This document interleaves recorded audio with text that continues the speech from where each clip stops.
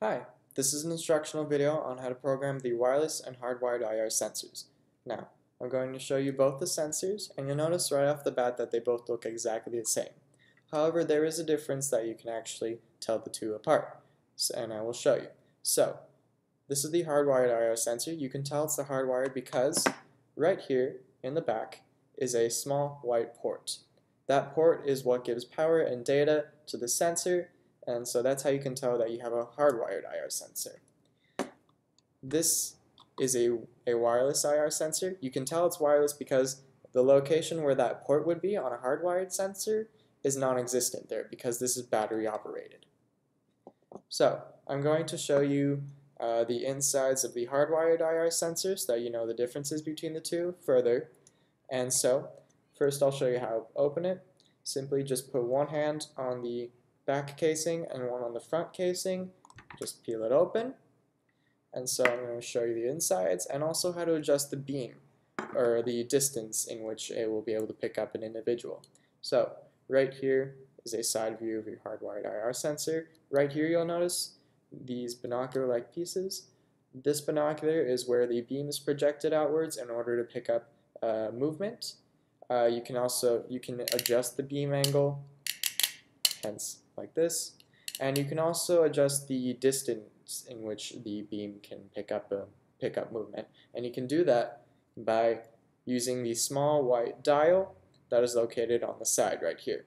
Uh, now to adjust that dial, all you need to do is grab a screwdriver, small screwdriver, like the ones we provide in our um, AutoSlide kits, or anything really that'll fit into the um, groove.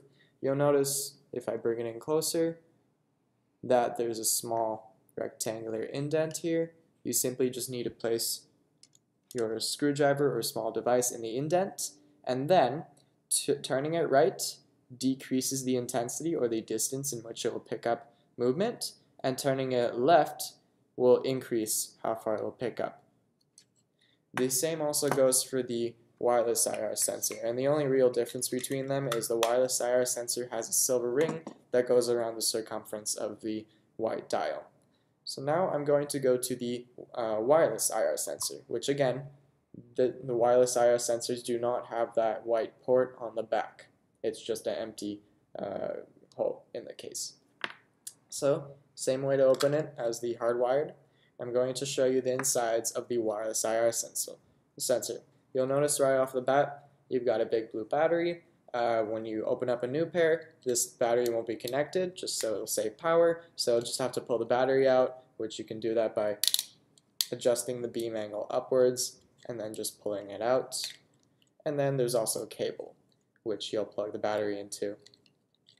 So I'm going to show you how to put it back in. So just one side in first, click it back in, and then adjust the beam angle to whichever or however you please. Now I'll show you how to adjust the distance. It's the exact same process and uh, turning as the hardwired and notice also the silver rim around the perimeter.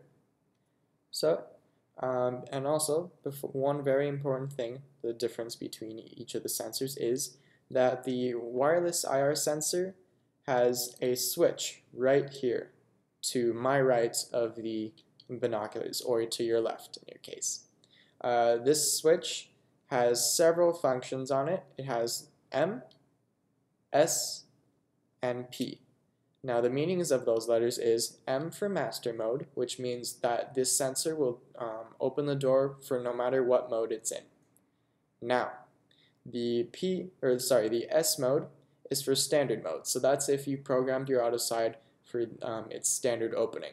Now, let's say you want to use this uh, sensor for pets. So um, if this sensor is triggered by movement, the door will open to the pet mode which you have programmed. If you have not pet programmed pet mode, you don't need to program pet mode unless you'd like to use your AutoSlide for pets. Um, otherwise, if you're just using your sensor for standard use, you do not need to program pet mode.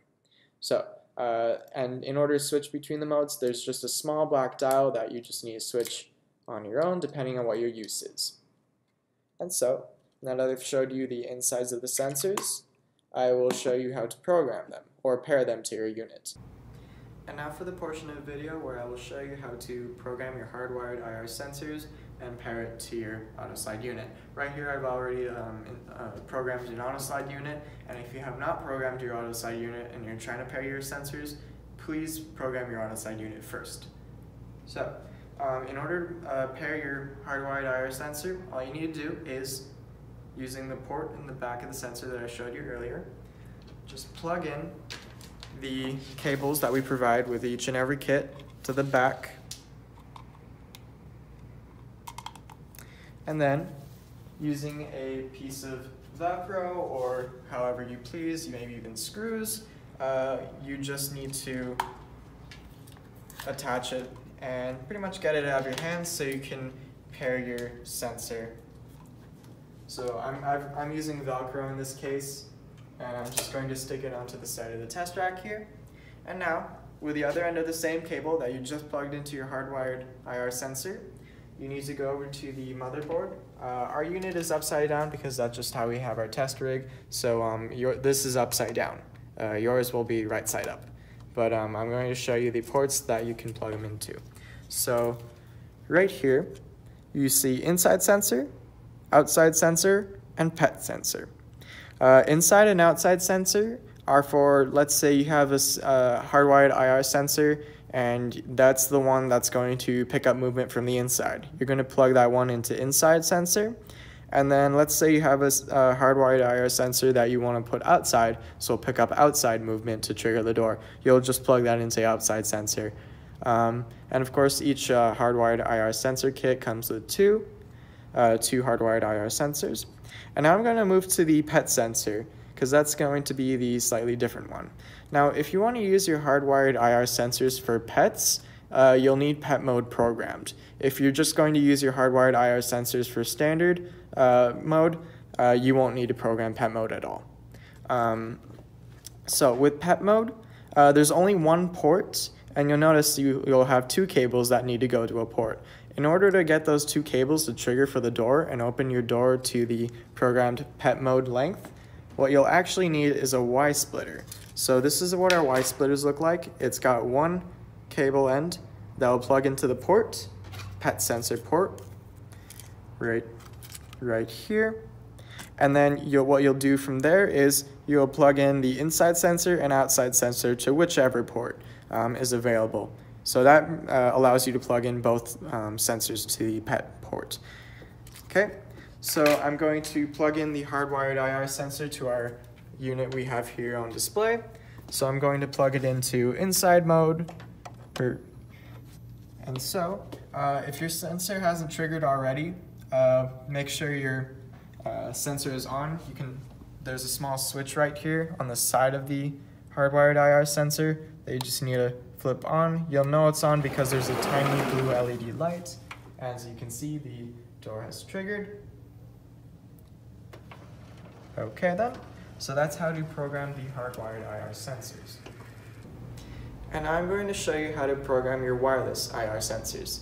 Uh, all you need to do so for now is just place your wireless IR sensor on the wall, whether you're going to use screws, or in my case, I'm going to use Velcro. And I'm going to do a show, but um, don't do. So I'm going to show you how to program the sensor, and then I'm going to do it from a distance.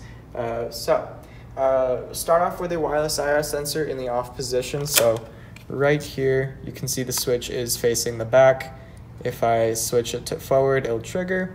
Uh, so I'm gonna keep it facing the back, uh, facing the wall.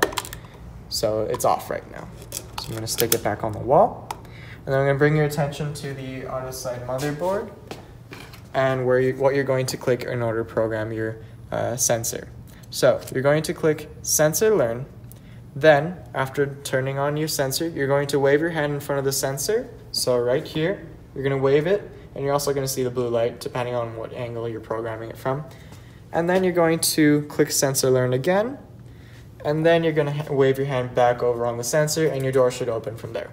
So I'm going to, so that's the show portion. Now I'm going to do it, uh, so you'll see it from a distance. So I'm going to turn on the sensor. Okay, now I'm going to click Sensor Learn. That's one. I'm going to click Sensor Learn again. That's two. Now I'm going to wait a few seconds, actually. And now it triggers.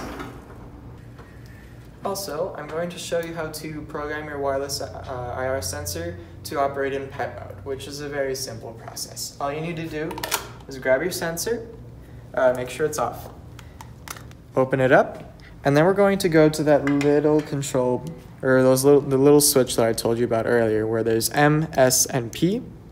Uh, you're going to switch that to just P for pet mode.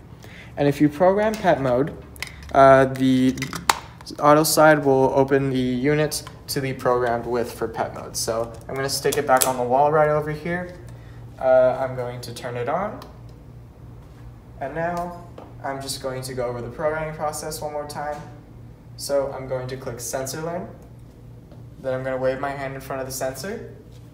I'm going to click sensor learn again and then wave my hand over the sensor. So now, now that it's been programmed, um, I'm going to switch the mode on the auto slide. So I'll show you right here.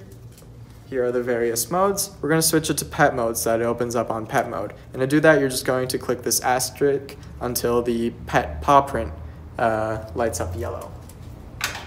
So moving the light to yellow paw print.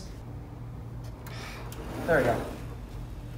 And so, there we go. The auto slide is opening up to the program pet mode distance.